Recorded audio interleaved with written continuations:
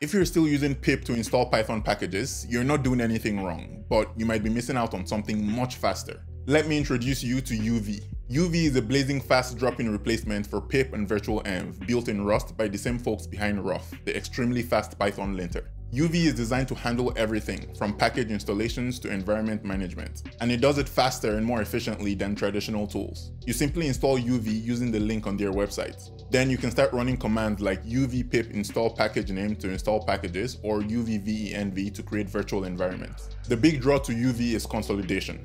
Instead of juggling pip for installing, virtual for environments, and pip tooling for dependency locking, UV wraps it all into one consistent CLI with fewer edge cases and better speed.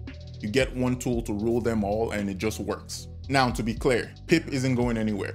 It's the standard for a reason, but if you're tired of slow installs or juggling multiple tools just to manage dependencies, UV is absolutely worth a look. Let me know in the comments below, will you try UV or are you just going to stick to pip? Check out umacodes.com for in-depth courses, coaching and more and don't forget to follow umacodes for more programming videos like this.